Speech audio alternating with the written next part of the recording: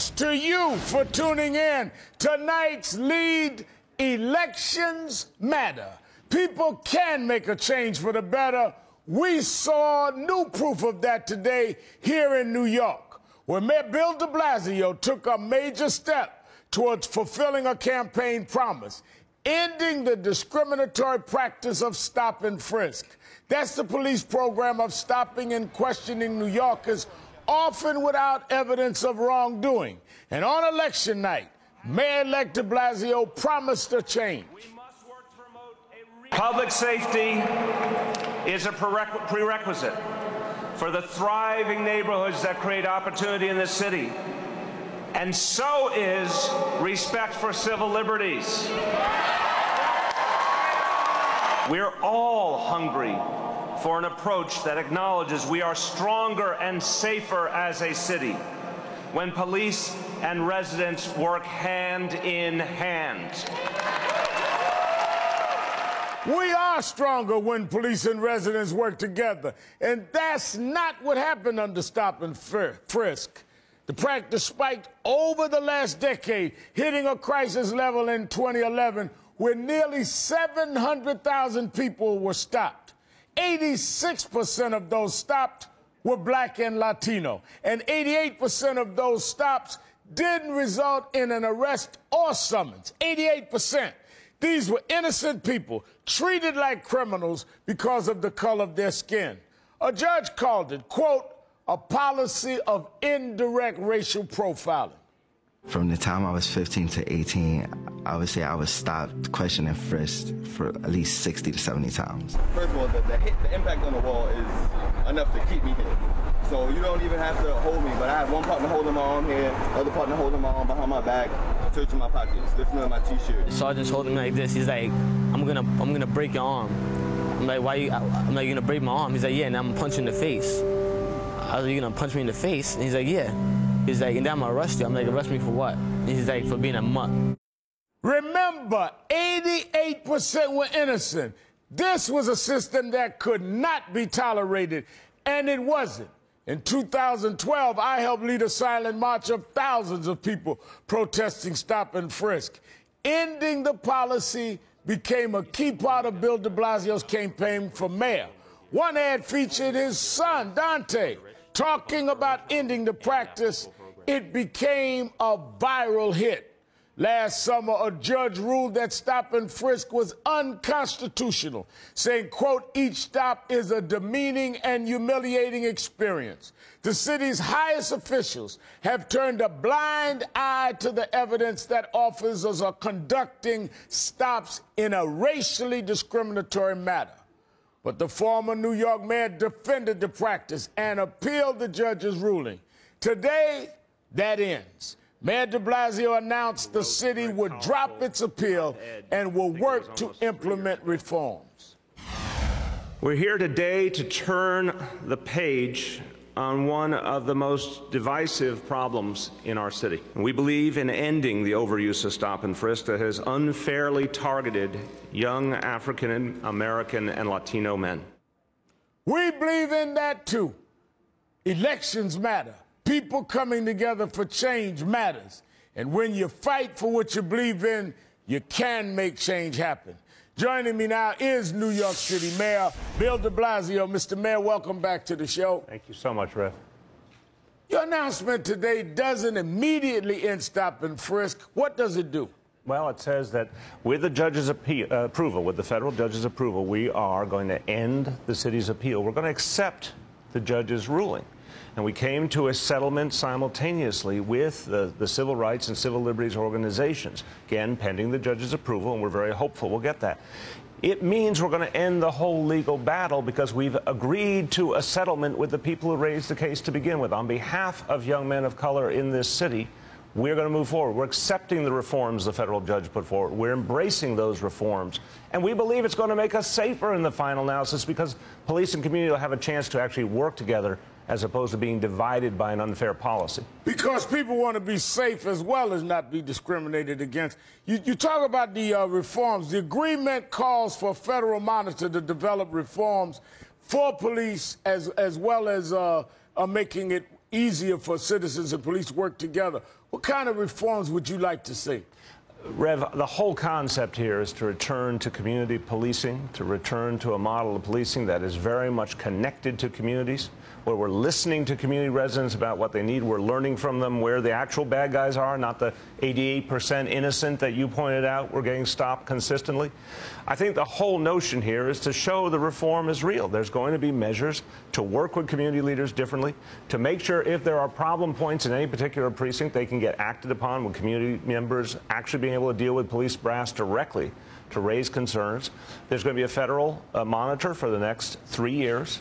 We're also going to have an independent police inspector general. It's another uh, reform right. that the movement that you and I were part of achieved. And right. thank you again for leading that march uh, in June of 2012 that made such a huge difference. That Father's Day march was one of the turning points. And we are realizing that vision today by saying we're not going to go to court to fight the, the advocates and the activists on behalf of communities. We're going to join with them and make a solution together. Your election was seen as an inspiration to progressives across the country. The New York Times wrote, quote, Mr. de Blasio's candidacy excited liberals with the way his relentless critique of economic inequality in New York seemed to resonate with voters. He is fast becoming a national liberal leader whose views will be difficult to ignore. Do you think other cities will also change their police departments based on what's happening in New York and look at reform?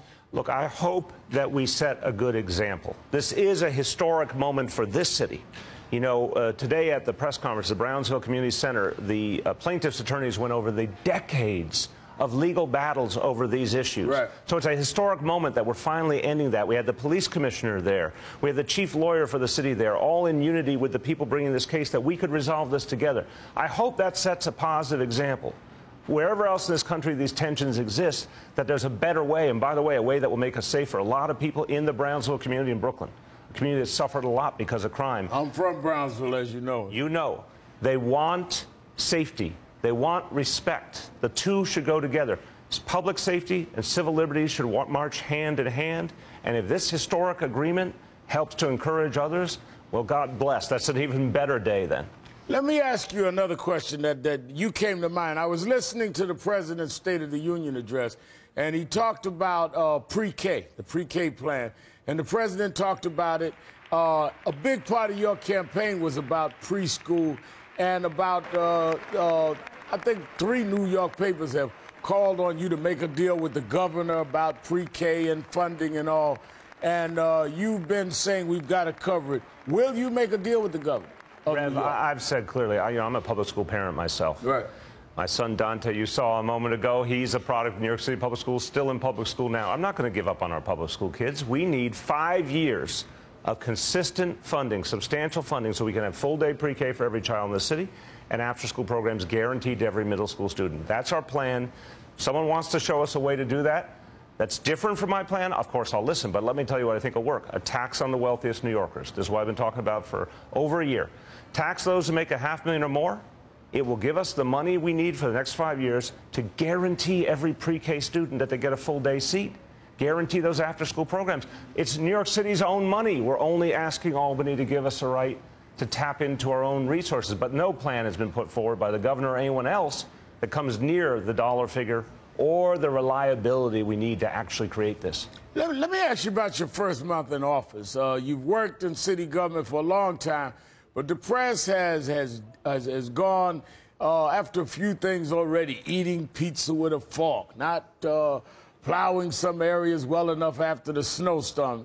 Even if you're running late to a meeting, uh, what are you learning on the job that's different uh, as, as, being mayor? You know, when uh, the players go from the minor leagues up to the major leagues, they say, Welcome to the show. so, Rev, I think it's that reality. It's the New York City press corps. You know, the slightest little right. slip or the slightest little mistake, and you'll hear about it. I think in the end, we've made a lot of progress. We're moving legislation to guaranteed paid sick leave to half a million more people who don't get it right away. We're speeding the process to make sure people get it. We're obviously we've had this historic moment settling and finding a pathway to settle and end the appeal on the stop and frisk case. We are moving the pre-K and after-school plan. These are all the things that people sent us here to do. So if the media is concerned about my pizza habits or anything else, that's just part of the, the Yeah, and, reality. and you know something else they brought up, and and, I, and I'm going to be transparent. They they seem to question the role your wife is going to play, who's always been your partner. And and full disclosure, my former communications director at National Action Network is working for your wife starting Monday Starting as, as Monday, uh, chief Rachel of staff. Yeah. Uh, I mean, what what do you say about those that are uncomfortable about your wife Chirlane playing a role, something that uh, some of us. Always felt she always did, but now that you're in City Hall, what do you say to those that are questioning that? Rev, look, uh, Chirlane's been my partner now on everything I do for 22 years. You know, we've been married for 19 years. We have two children, teenagers. Uh, This is everything we've done, we've done together. We met in City Hall during Mayor Dinkins' Right. administration. This is our life. And she's the first person I turn to for advice and guidance in everything I do. So I'm proud of the role she plays. I think the people of the city love her as their first lady.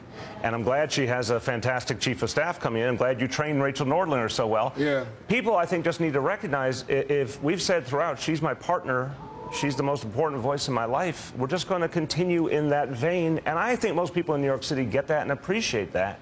Uh, and we're going to find it's very productive for getting things done for this city. I've got to ask you about one more woman since we're talking about ladies in your life. This one not as close, but you ran her campaign for Senate in 2000. Uh, that's Hillary Clinton. Yes. Would you like to see her run for president, and uh, do you think she will? I'm going to answer a little different. I know she'd be a great president. I know that. When I served on her campaign in 2000, she was first lady, and I could see just in that reality all that she was doing to shape positive outcomes for the country. Obviously, I thought she raised incredibly important issues when she ran for president in 08. She'll make her own decision. I can only affirm to you one thing having spent a year of my life shoulder to shoulder with her, she would be a fantastic president. Well, let me say again where we started. I think today was a breakthrough. Uh, we're not all the way where we want to be yet, but it's a step there. And you have uh, you said that you were going to deal with this issue, and you did. And uh, I beat up on a lot of politicians on this show uh, nationally every night when they don't keep their word. And you have uh, started in this respect to go forward, and, and you know that uh, I'm going to be watching. I know you will, in the best in the best sense of accountability, Rev. And I appreciate it. And thank you again for helping to make this day possible by helping to lead the movement that finally got the elected officials to do what they should do.